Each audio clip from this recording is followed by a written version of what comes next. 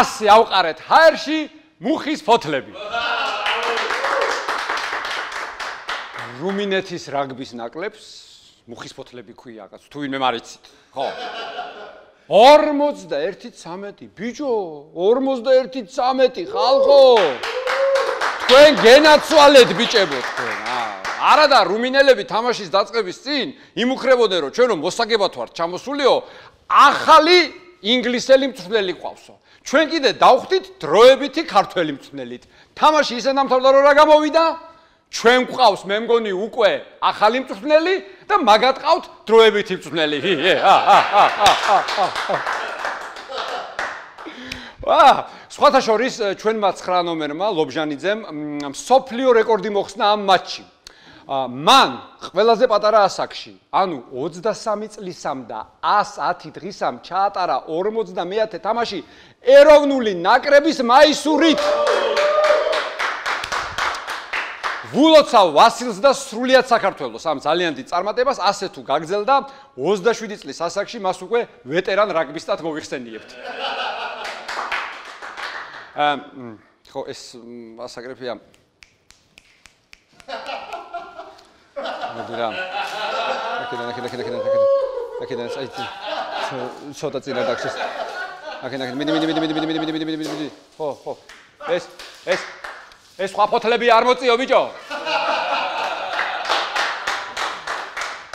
ხო აქვე უნდა გითხრათ ხო გახსოვთ რუსეთის რაგბის კავშირის პრეზიდენტი რას ამბობდა რას ამბობდა და ჩვენი პრიორიტეტი საქართველოსთან მოგება კი არ არისო.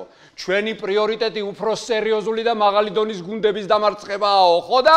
აი მაგ რუსეთის ნაკრებმა სახში ესპანეთთან 12-31 წააგობი. ა ა ა ა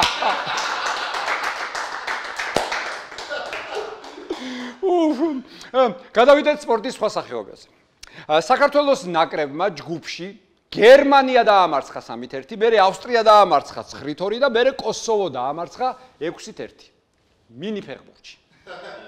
ვულოცავ ჩვენს ბიჭებს ამ წარმატებას, მართლა დიდი წარმატება, მაგრამ ამავდროულად ამავდროულად მინდა მიმართო ქართულ ჟურნალისტებს. არ არის ახლა ეს დიდი სტილისტური შეცდომა, რომ ამ წინადადებიდან ამოვიღოთ სიტყვა მინი.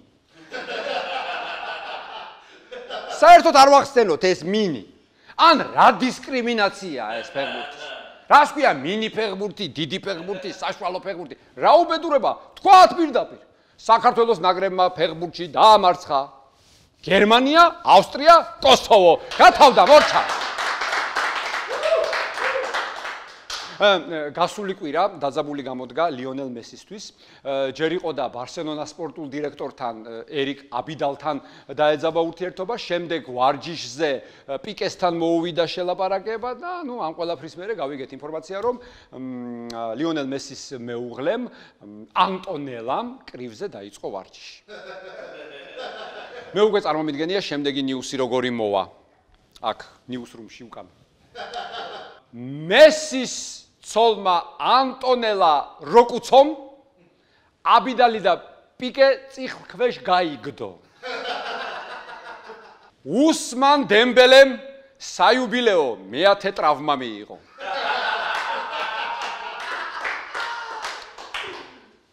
უსმან არ გინდა რომ შენ და ჩვენმა ლევან ჭედლიძემ ერთი ცხარი დაკლათ და შეუთქვათ?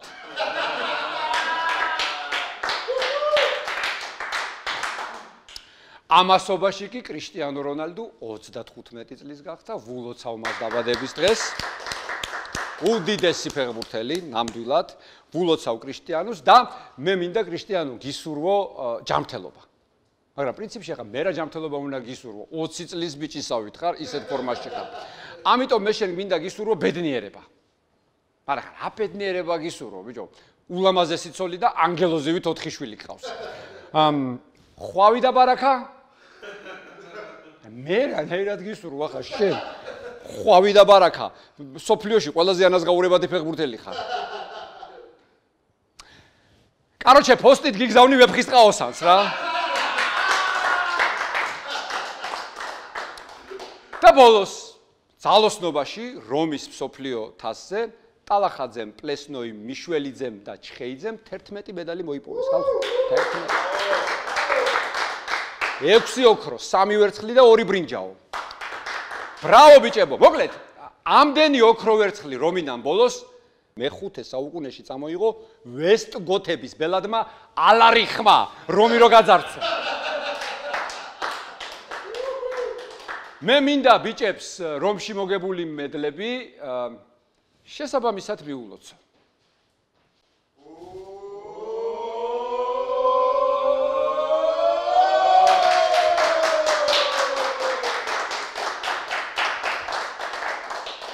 Ավե Ասանիձե։ Ա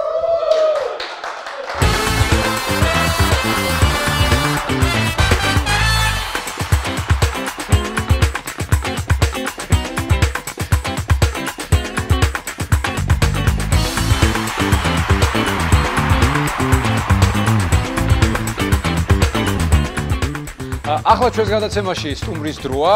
ჩვენ კიდევ ერთხელ ვეწვიეთ ჩვენს მეგობრებს გერმანული ლუდის სახლში მიუნხენში. ყავს განსაკუთრებული სტუმარი. დღეს ჩემი გადაცემის სტუმარია ქართული ფეხბურთის ლეგენდა ბატონი თენგიზ სულაქველიძე. მოგესალმებით ბატონ თენგიზ. ძალიან დიდი მადლობა რომ დაგვთანხმდით, გამონახეთ დრო. აა მოხვედით, თქვენი ბევრი კოლეგა ყავდა გადაცემაში. ისეთი რამეები მოყვეს თქვენზე, ისეთი და მეც მეც მოყვები, მე. ხო, მაგიტო. ხო და მაგიტო და ესე იგი, ოთარ გაბელია ყავდა, ვოვა გუცაევი ყავდა, ქელაკეტაშვილი ყავდა. ვაიმე რეები ილაპარაკეს, ხო და მე მინდა რომ თქვენ ახლა აქედან აბაროტი რო აუღოთ რა. აუღე. მე ქუთაის რო დაუღე. კი ბატონო. ბატონო თეგის განწყობაზე როგორზე ხართ? მოდი ასე დავიწყოთ. განწყობაზე როგორზე ხართ? ძალიან კარგი. აი მარტი გვიახლოვდება და ეს სანაკრებო თამაშები რა, როგორ აა მე ძალიან დიდი იმედით ვარ. აჰა. ძალიან დიდი იმედი მაქვს რომ ამ ბელარუსს მე მგონი დავსლებთ.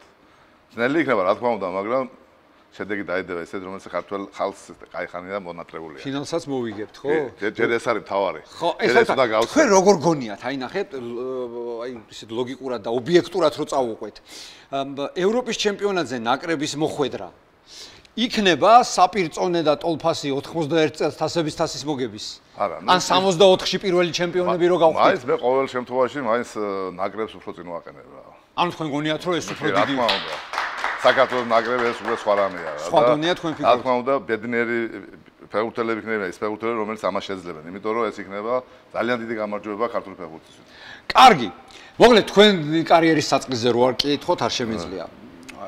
როგორ შეხვდით იმ ფაქტს, ან როგორი განწყობა გქონდათ მაშინ, როდესაც საბჭოთა კავშირის ნაკრების თავმჯდომარემა ბესკოვმა კონსტანტინ ივანიძე ბესკოვმა დაგიბარათ და გითხრათ, რომ თენგიზ შენ დღეს გაქვს ამ მატჩზე სპეციალური დავალება, შენ პერსონალურად უნდა აიყვანო დიეგო მარადონა. ო, ძალიან ძელი იყო, ჯერ რო ჩამოვედით, ეს უკვე იმაზე ჩამოვდივართ, ელით, საუზმეზე ჩამოვდივართ ნაკრები და ნუ უნდა შევიდეთ რა, ამ ამ დროს მეძახეს რა. ხო, დამეძახა თუ მე უნდა უნდა დაიჭრო მარადონა, ნუ რასაც თესოვლი ვერ დაიჭერდა და მე მე გავიფიქრე, მეთქი ახლა ამდე 22 რუში რა, მე ამარჩია ამა მეთქი. ალბათ, ალბათ გაგონილი მქონდა რომ ბესკოს არ უყურს ქართველები და და არა მეთქი ალბათ ჩემი ბოლო თამაში იქნება ეს ნაგრებში თქვა რა. ხო და ნი ვერც საჯმელ ჯამი იმ დღეს რაღაც მე ველოდები როდის მოვა ეს თამაში რომ ბოლო თამაშია ჩემი ნაგრების რა. ნუ გამოდე ვეთამ როგორ აჩემელო ვითამაშე ვეთამაშე მარტო ფიქრობ რომ ეს მარადონა უნდა ავიყვანო. თორე მივდივარ სახში ნაგრებდა ნაგრებში კარგია რო ხარ რა. კარგია ნაგრებში ყოფნა და. რო წავიდა ისე წავიდა თამაში ნუ რა რადუნას ეხლა ისე ადვილად ვერ იმასინდი რა ცოტა უხეშობა უხეშობაც გამომდიოდა და ამაზე მივარტი მოვარტი ცოტა და ეხლა ვიფიქრა ახლა იფიქრა რომ აი ხა ეს გიჟია და ეთქობა დადგა ვერ ვერ ვერ ვერ ითამაშა რა თუნდა თამაშა ხო. ვიდო ინდეს ურტანდი რომ სხვა მარადონა გაჩერება არ შეიძლებოდა რა და შევდივარ გასახდეში დამთავრდა თამაში და მესკო მეუნება შენ დღეს ითამაშე მაგრამ თუ აგა შენ აღმერთო მე არ მახსოვს როგორ ვითამაშე არ ვიცოდი ეს თამაში ვიდო ბურაში ვიყავ მე ეს ბოლო თამაში მას ფიქრო რომ მივდივარ სახში თქვა რა. გოლი არ გაუტანია მარადონა არ გოლი გაეტანა გაეტანა როგორ იყო იცი? მე უკვე წინ ასული ვარ და დასწრება მამისა ხელით ბურთი მიცა მარჯვენა მხარეზე ბური აქვს. და იმა გაუგეთა სრახო გაგა პერეხვადი გაუგეთა ვარდო და შეგვიდო გოლი რა. მაგრამ ის თამაში ერთ-ერთი მორჩა. ერთ-ერთი მორჩა მაგრამ იმ გოლში დამნაშავე იყო დასაევი და ბურიაკი ბურიაკი და არა თენგიზ სულა გოლი. ამიტომ იქ მე არ შემეხო მაგი კი ბატონო. და დავრჩი 8 წელიწადის სიმწედე და საბჭოებში ნაგრებში 8 წელი ვიყავი SSR-ის ნაკრებში, ნომერი პირველი ფეხბურთელი. კი ბატონო. ჩემ ადგილზე. თქვენ ადგილზე, რა თქმა უნდა. მე თქვენ მეორეჯერაც შეხვდით მარადონას უკვე თბილისში ვეტერანების მარშს. არა, ეს მეოთხე იყო თუ მესამე. მეოთხეში, მესამე შეხვედრა იყო. მესამე. მე რისი კითხვა მინდა, იცი?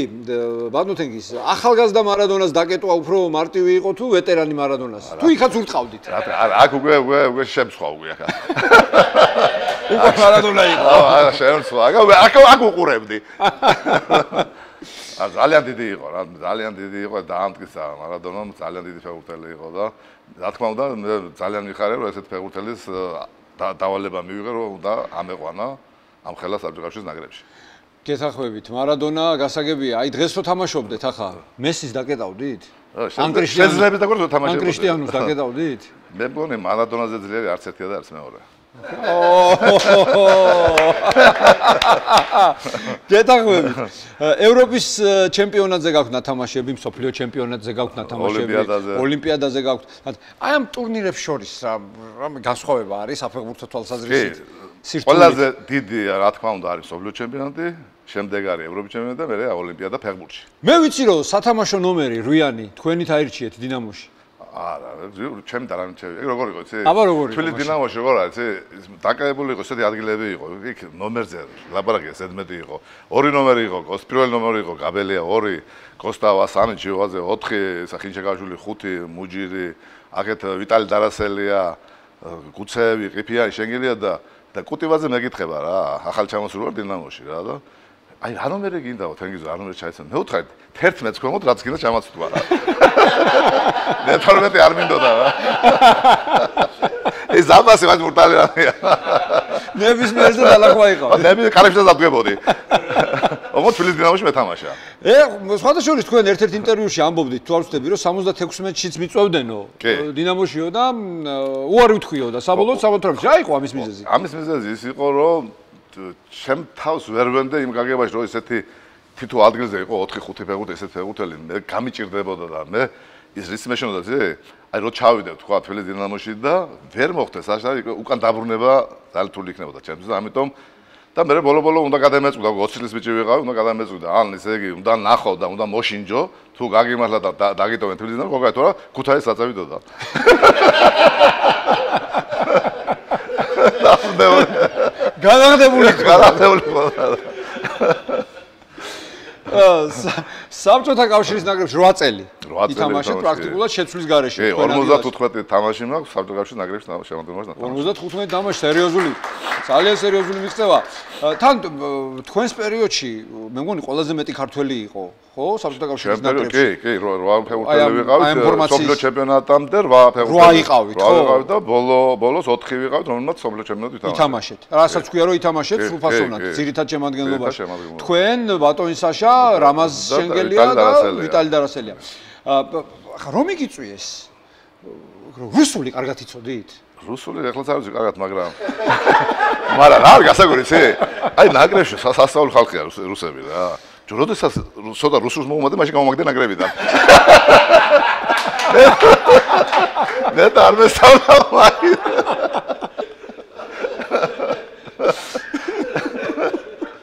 ბატონო ოთარ ვკითხე გაბელიას და თქვენს მინდა კითხოთ აი 91 წლის 13 მაისს რო ახსენებენ ხოლმე პირველი რა გახსენდებათ აი ბატონმა ოთარმა მითხრა რომ სადაც ცხოვრობდითო იმ სასტუმროშიო ულამაზესი ხალი იყო დირექტორი და ეგ გახსენდება პირველი მაგას თუ მაგი თამაში არ ფიქრობდა ესე ნახე რა მე მე თო იყო პირველ ტაიმში აბნეული რო იყო თქვენ რა გახსენდებათ? არა, რა თქმა უნდა, ჩვენთვის ეს იყო 91-ის ფინალი იყო, ეს იყო ჩვენთვის საერთოდ როგორ არის ფინალში შეიძლება გახვიდე ორჯერ სამჯერ, თუ არ მოიგე იქნებ ფინალისტი. ხო და ამიტომ ეგ ჩვენი ძალიან კარგად გვესმოდა, ჩვენი გუნდი უკვე მომზადებული იყო ამ დიდი გამარჯვებისთვის, იმიტომ რომ უკვე 7 კაცი, 8 კაცი უკვე ნაკრების დონეზე როდესაც თამაშობ, უკვე კლუბის დონეზე უფრო ადვილია ვიდრე ნაკრების თამაში რა. ხო. ხო და ჩვენ ისე იგი როდესაც 1-0-ს ვაგებდით, მაინც იმედი გქონდა თუ ჩვენ ამ თამაშს მოვატრიალებდით რა და ეს ღერთის წყალობით ეს მოხდა.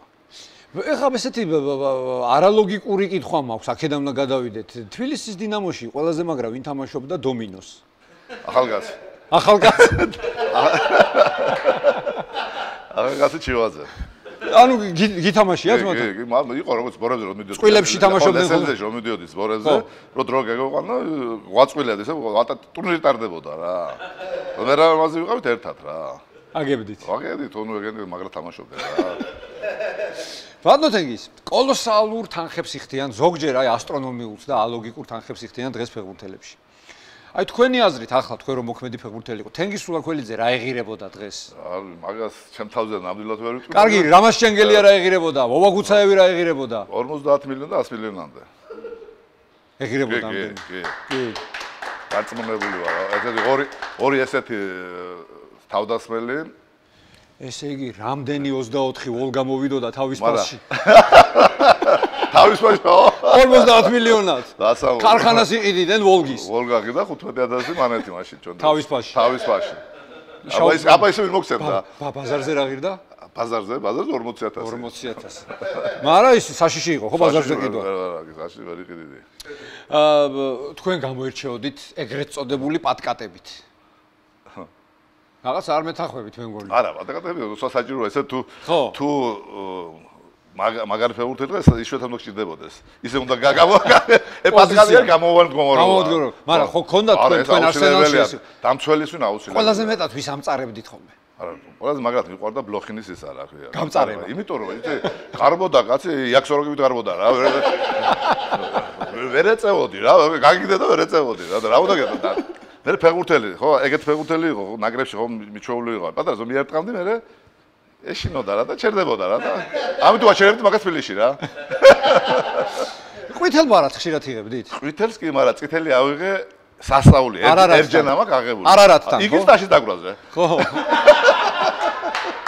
ეგ დინახია. მახსოვს. ო, კაც ფეხთა ხავდი არ მადებდნენ, იმადა გვია წითელზე ხელის ტაში დაუგარ და მაგაზე მომცემ წინ. მახსოვს.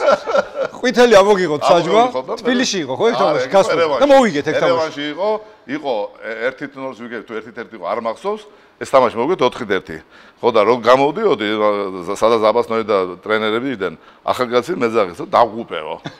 პირველ ხო და მე ხო კარგი კარგი მოვიგეთ ეს თამაში და მე უთხარი მე რო დამთავრდა, მე გიშლიდით ხელს ყვა. ის შევა აი მათ ნაღდი ეგონათ უკვე ეს 10 კაცი თუ მოუგებთო იოლად და მე დიდი როლი ვითამაშე. მე ვთქვა ეს ეს თამაში ჩვენ რომ მოვიგეთო. ეს ტა- ტაში რატო დაუკარით? ანუ საჯ დაუკარით ხალხი ყვითელი დაუგე რა რატო იცი როგორ იყო იცი რაღაც ჯარიმა მომცა და მე ჩავთვალე რომ არ მეკუთვნოდა. თან ყვითელი. ხო, არ მეკუთვნოდა და აი ამის მალადეცო, ხო, ხო, უთხარი. დიდი მადლობა თქვა. მოაყოლა მოაყოლა წითელი რა. ერთ-ერთი პირველი ლეგიონერი იყავით ქართველი. მე და რამა შენგელია. თქვენ და ბატონი რამაზი წახვედით სათამაშოდ. შვედიაში. მ, ხო შვედეთში წახვედით კარიერის ბოლოს. როგორ საერთოდ სკანდინავიაში როგორ მოხდა სად მოხდით ჩვენი მეგობარი იყო ერთი შვ- შვ- შვედი მეგობარი იყო ძალიან ახლო მეგობარი იყო მოსკოვში გავიცანით და იმ- იმას ვახსოვდით რომ ესე იგი საბჭოებში ნაგრებში თამაშობდი თბილისის დინამოში და იმ კაცმა წავიყვანა უკვე დანებებული ხომ თბილისის დინამოში თავი ერთი წელი არ თამაშობდი თბილისის დინამოში ფორმაში როგორ ფორმაში ახლო როგორ ესე ვიყავ რა დავედი და მოვიდა. ერთი პირველი ვარჯიშე მოდი და დამაზი ჩემზე მეტი უფრო ის არის რა მომატებულია რა წონაში და ტრენერი ჩოჩავის მაიკა უფრო გამოჩნდა რა. ტრენერი მოვიდა და მოცელზე გვარტყავს ხებს რა. თქვენ ხართ ფეხბურთელებიო სათამაშობდითო არა სამზაკარში 45 თამაშობ რა თამაშები. როგორ რამდენი ხანი ითამაშე ერთი წელი ერთ წლიანი კონტრაქტი მქონდა სადაშორი ძალიან დიდი კმაყოფილი ვარ რა კლუბი იყო, რა ბატონო? საქ ჩვენ ვიწვალეთ 15 წლის მანძილზე ფეხბურთში იქ ერთ წელში დავისვენეთ რა. რომელ კლუბში იყავით? იყო იყო ხომსუნგის გუნდი იყო ეგეთი მეორე ლიგა იყო. ხომსუნგი, მეორე ლიგა. ხო იქ არ არის პროფესიონალი არის ერთი გუნდი თუ ორი გუნდია პროფესიონალი შვედეთში რა.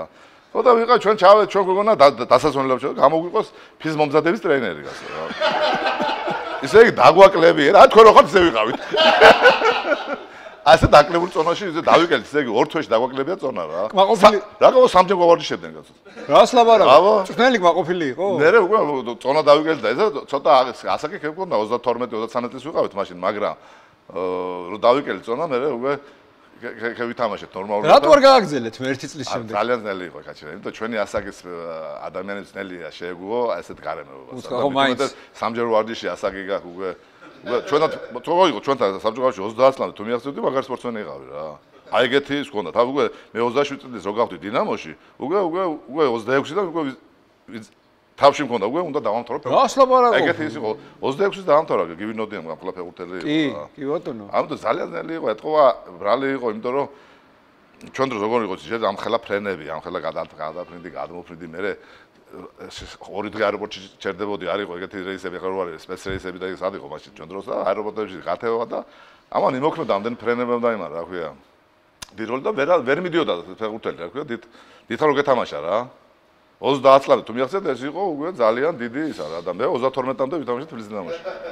სერიოზული მიღწევაა ეს რა მან საბჭოთა კავშირის ჩემპიონატი ონე ერთ-ერთი ყველაზე მაღალი იყო ევროპაში. ევროპაში და სოფლიოში და შეგვიძლია ვთქვათ რომ საბჭოთა კავშირის ჩემპიონატი იყო ერთ-ერთი საუკეთესო რა. კი საუკეთესო იყო ერთ-ერთი ნამდვილად და ეს აისახებოდა იმაზეც რომ ძალიან ბევრი გუნდი თამაშობდა ევროთასებზე. ფაქტურად ჩვენ ვიყავით ქვეყნის ნაკრებები ვიყავით რა. ბელარუსის ნაკრები უკრაინის ნაკრები რუსეთის ნაკრები ეს ეგ მოსკოვის სპარტაკში ვისაც უნდა და მოსკოვი კი ყველაზე ადვილი იყო კიევის დინამოს გუნდი გაეკეთებია იმიტომ რომ ხუთი უკრაინელი გუნდი თამაშობდა უმაღლეს ლიგას რა. ჩვენი ზოზნელი იყო მან ჩვენი სიმციდან გამომდინარე თუმცა ახერხებდა ქუთაისის ტორპედო ჩვენ მაინც თბილისის დინამო დიდი გამარჯვებას მიაღწია იმიტომ თასს რო დავანებო თავი ორჯერ საბჭოთა ჩემპიონები ორჯერ თასის ფლობელები ეს უკვე პატარა საქმე არ არის ჩვენი ქვეყნის აა კარგი ახლა მოდი გადავიდეთ ცოტა ისეთ ინტრიგებს. კი ბატონო. ესე იგი ყველაზე რაღაცა მოყვა ოთარგაბელია მე ხა არ მინდა ენის მიტანა ხო არ არის? სიმართლის თქო სიმართლის თქო ენის მიტანა ხო არ არის? რა თქმა უნდა. ყველაზე რაღაცა მოყვა ხო და ახლა მე მინდა რომ გაბელიაზე გაიხსენოთ რაღაცა რომ რომ ოთარი ბატონი ოთარი ვიყურებ ჩვენ და მინდა რომ მოისმინოთ ოთარი ძალიან დიდი მეგარე იყო რაზეა მაგრამ ჩვენ ხუმრობა გვაქვს ერთმანეთთან და დღეს თუ ვაგაცობთ და ახლოს ავართ მე სადაჭივაძეა ოთარ გაბელია დათო მუჯირი და ვინმე არ გამოჩნდა გელა კეტაშვილი და ჩვენ ვიკრიბებით, ხშირად ვიკრიბეთ და გვიწევს სუფრასან ყოფნა რა და ოთარას ვეუნები და არ ეწყინება ამას რო უყურებს რა არა არა ჩვენი მეგობარია ბატონი ოთარი. სულ ისე იყო პანიკაში რა აი იმათ იყო იხმე ბურთს რო იწყებდა ეს მოწინააღმდეგე. ცენტრამდე ხომ მოვიდოდნენ. და ცენტრიდან ცენტრში როა ბურთი მოწინააღმდეგე აქვს. უკვე ყვირო და უკვე კარში არ დაყვევიო რა. ხო და მე ოთარი აბა რა თქვინა მეკარე და ხო და ხო და ბოლო ეხლა მეუნები კიდე. ბიჭო მე უთხარი ოთარი მე უთხარი შენ გახთა მაგის საუკეთესო მეგარე გახთა საბრძოლოში იმაში. ჩემპიონები რო გავხდით მაგ წელს? ხო გახთა საუკეთესო მეგარე ხო და მე უთხარი ბიჭო გახდებოდა არ იქნებოდა ოთარი მე ისე დამცველები ვიყავ მე და ჩივაზე და ხიჯაგაში და კარიფი არ ვარტყმებია თუ კარიფი არ მოგდიოდა მაგიტო აღარა არა მაგარი იყო ძალიან მაგარი იყო. აგარ ის ის ო მაგ მე მეგრული ხედვა ქონდა იცოდა რომ უნდა გამოსულიყო. აჰა თუ არ გამევიდა ჩვენ უნდა გვერტა თავი ერთმანეთის ვინ რომ ესე იგი ბურთი მეგვერებია სტრაფროიდან გაგვეტანა იქეთ რა იმათ ნახევარზე რა. ზუსტად გამოდიოდა როცა საჭირო იყო რა შენ რომ დაგეძახა, გამოდი და რაღაცა. აბაბაბა. თვითონ იწოდა. თვითონ თვითონ იმაშობოდა. სხვა შორს ოლიმპიურ ნაკრებში აქვს ხო ნათამაშები? ოლიმპიურ ნაკრებშიც და პირველ ნაკრებშიც ნათამაშები. კი. პატარა ხნის იმას შევგველთო და საშაჩივა შევგველთო. კაი ხასიათსევარ და გველოდება ჩვენს მაღაზი რესტორანში მივდივართ რა. თქვენ და ბატონი საშაჩივა. ო, ეს ცოტა ხნის წინ მოხდა რა. აა, უკვე ეხლა ეხლა ახლა ახალი ამბავია. აა. მორა ანეკდოტი არა, სიმართლეა. კი ბატონო. ხო და ну მივდივართ რესტორანში მეგობარი გველოდება. რა დავარგვით, არ ვიცი და ამ დროს სვეტაბორთან რა უხვია და საშაზია საჯესთან და მე გვერდში უზივარ. ხო და გაგვეჩერა პატრულმა. აა მე თქვი რა და ჯარი მამეთია გად გადმო საშა მეუნება ესე შენც გადმოდიო. მე რა მინდა შეხარ არა და ვიცი რომ არ შეიძლება გადასვლა. ხო ახალი კანონი. ხო გადავი და გადავყვები რა. უერონო მომივეცი. რა და აი პატრული ახალგაზრდა ბიჭია ნუ ხო და საშა ეუნება რა. რა დავაშავეო? აი მაგ ვიცნობ სასაჩივოზე სულები და ამ გაიჭრა ეს პატრული რა. ბიჭო, თქვენ კი არ დაიშე, მე დავშო თუ როგორ გაგაჩერესო. აი პატრულები და კარგი ბიჭები არიან რა.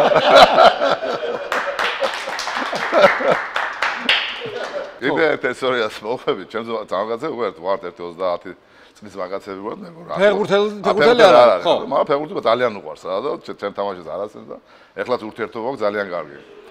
ხო და ნუ ბიჭო ცოლი ვერ მოყავს რა. და სულ ესე იგი დედამისი მეუნება ვერ ბატონ თქი ეგება რაღაცა ესე მოაყვანი გავიდა გახდა 30-ის ვერ მოიყვანა გახდა 40-ის ვერ მოიყვანა გახდა 50-ს გადაშორდა უკვე. უთხარ ეს ვერ არ მეიყვას აციმეთკი რა და და დავყვები სადაც ესე გოგო მეეწონება გოგონა სულ მივყვები არ ვერიდები რა მივყვები და ოჯახებში მივდივარ ერთ ერთ 15-20 ოჯახში ვარ ნაყოფი ხო და ესე ხო გადის და დრო და ვერა ხან იმას არ მოწონს ხან ამას არ მოწონს და ეგეთი ისა გვაქვს მოლაპარაკება. თუ გოგო არ მოგვეწონება არც იმას არც მე ხო? ესე იგი უნდა თქვა განსხვავებული. აჰა. ხო ეგ განსხვავებული და უნდა დავითესოთ იქიდან კოდური სიტყვა. ხო კოდი კოდი ყოდა ესე იგი. ხო. და თქვა გოგო არ მოგვეწონა და განსხვავებულს. ან ის სიტყვა მე ვიტყოდი ეგ განსხვავებული მიდიოდი მე სახლით რომ უხერხულია რომ არ მოგვეწონა ხო არა თუ გალს ამას კიდე არ აღუშავს ხო? და ხო დავდივართ ამ ამ დროს და ერთ ერთ თუ თუ ნაყოფი იყო და მეორედ არ მივედი და იმ ოჯახში. უი მეორე წრეზე მიხვედი მეორე წრეზე მივედი იმ ოჯახში რაც ხო და გაიშალა პურმანი და მამის გომლება თქვენო ბიჭო. ხალის მოსაყვა და თუ საკაიბო დადგა თქვენი და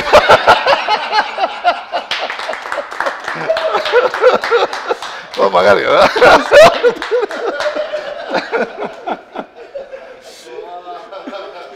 განსხვავებული. რაც ვიცი, ყველაზე ყველაზე მეტი ანეკდოტები არის ჩელებაძეზე. ერევანში მაგან ბურთო გააბუჭა. ელა მე მეორე დღეს ჩვენ ნოდარი ვიბარებდა ბაზაზე, რო იქ პარნოი, მასაჟი და დასვენების დღე ქონდა. მშვენიერი დღე ყოფილა. ბახტრიოზე ცხოვრობდა რეზო და ტაქსი, ტაქსისტები იყო მაშინ ფეხბურთის გიჟები რა. აი ბალეჩი მაგარი. და შეიძლება დაიხურა ქუდი, кайკე დაიჭი, რომ არ მისნოსო. და მოდი დასნა გზაში ტაქსისი მოდის ტაქსისი და იგინე გუშინ შეიძლება ზეუნება გუშინ უყურე თამაშო. შეიძლება ჟავარ უყურეო. რა ქნა შეიძლება მაგის დედა მო ო მაგის დედა იზახზე რა ეს არ მოუყოლია მაგას იმაში მე ხო. უყურე აი ჩასაფრებული ვიყავი. კიდე ერევნა რომ მოვდივართ რა. იგივე თამაშია? იგივე თამაშია. ხო და ჩვენ ესე იგი როდესაც თამთავრდება თამაში სრაზუ მოვდიოდით ესე იგი აფჩერდებოდი სასწროში. თამაში მორჩებოდა და ესე ნოდარის ესე უყარდა და ჩვენს ბიჭებს ისე გვინდოდა დროს ჩამოსულიყავ სახში და მაშინ ავტობუსში ჩაგვიდებდნენ ესე დაზვა სულ პაიო რაღაც საჭმელებს რა. ეს იქნებოდა რაც კიდრი ყველი რაღაცა კალბასი რაღაცა ნუ ერევნიდან ალბათ ბასტურმა სუჯუხი. ხო რაღაც რაღაცები ხო ესეთი და მოვდივარ და გზაში სადღაც გავაჩერებდით და იქ მივირთმევდით ხო და რაღაც დარჩა ერთი ისა რა ქვია სასესია თუ კალბასია რა. ხო და ანზორა გამიტაშვილია ესა მასაჟი ჩვენი და. და ერთი რო დარჩა ისა რა ქვია ვიღაცის გულიბა დარჩა და მიდის ახალგაზრდა ეუნება პატრონო და ერთის დაგჭავდა საწევი და აი ეგრე შეიძლება შეტენე მაგის დეთა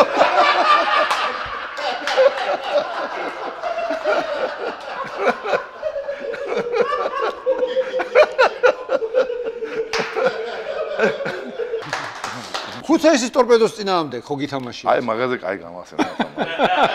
რა არის ის ქუთაისის ტორპედოში რაც არ უნდა უყარდე. თუ გადმოდიო თბილისიდან და ჩადიოდი და ითამაშებდი და ქუთაისის ტორპედოს წარგებდნენ, აუ გინება იყო საშინელი რა. ხო და ეგეთი შემთხვევა, ესე იგი ახლა პირველი წელი არის რა, უმაღლესი ლიგაში უთამაშდა ქუთაისის ტორპედო. და ეგეთი ჩავედით ქუთაისის ტორპედოს უთამაშეთ თბილისის დინამო. და მე გოლი რო იყოს გასატანი, ვერ არ არ ვერ ვერ გავიტან რა.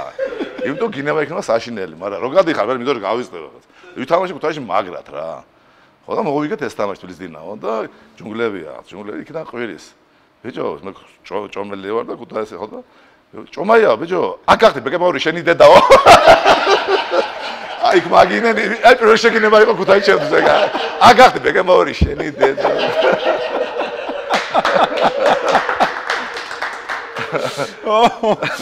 ვერიტანდა ქუთაისში წაგება თბილისის დინამოს. ო, განსაკუთრებით, ხო, ეს დიდი ჯახი იყო. დერბი იყო, ხო, ქართული დერბი იყო. აა ბატონთენგის ქუთაისის ტორპედო რა ხან ვახსენეთ? ეხლა ცოტა გაუჭირს ამ გუნდს და გადასარჩენია მართლა, იმიტომ ეს ისტორიაა ქართული ფეხბურთის. ამბობენ გამოჩთაო ინვესტორიო, ზოგი ამბობს არაოჯერო. თქვენ რა ინფორმაცია გაქვთ? მე ერთი ვიცი რომ ფედერაცია ყველაფერს აკეთებს, ფედერაცია საქართველოს ფედერაცია ყველაფერს აკეთებს, რომ ქუთაისის ტორპედო იქნება ის სადაც არის ეხლა რა.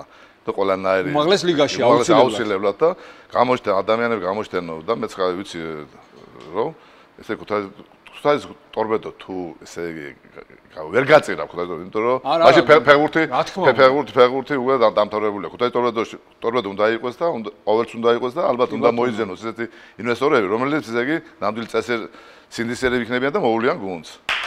კი ბატონო კი ბატონო ეს ქართული ფეხბურთის ისტორიაა, უდიდესი ტრადიციების, საფეხბურთო ტრადიციების ქალაქია, სხვა ყველაფერს რო თავი დავანებოთ და თვითონ ტორპედო ახლა ასეთი ასეთი პატარა ქალაქის გუნდი უმაღლეს ლიგაში ხო, ხშირად არ გვახსოვს საბჭოთა კავშირი, ლანჩხუთმა გააკეთა მერე სასწაული. ჩვენ რო თასების პრობლემთა თაზე ავიღეთ ამით ამაყობთ და ამდენ სამაყვა, ხუთი კაცი ვიყავით, როდესაც 90 წელს თასი ავიღეთ. ქუთაისის ტორპედოდან, ხუთი კაცი. მოკლედ კიდევ ერთხელ ძალიან დიდი მადლობა ბატონო თენგიზ. გამონახეთ დრო, მობძანდით და რა ვიცი, მე მგონი გამოგვივიდა საუბარი. თუ გამოგვივიდა, უღერს მადლობა. ბევრი ახალი რამე გავიგეთ, ბევრი ვიხალისეთ, ბევრი ვიცინეთ, სერიოზულადაც ვილაპარაკეთ, ველოდებით ჩვენი ნაკრების წარმატებას და კიდე გელოდებით. კი მობს ათავა. ქართული ფეხბურთის ლეგენდა თენგიზულა გველიძე იყო. დიდი მადლობა, დიდი მადლობა თქვენ, დიდი მადლობა. Leaders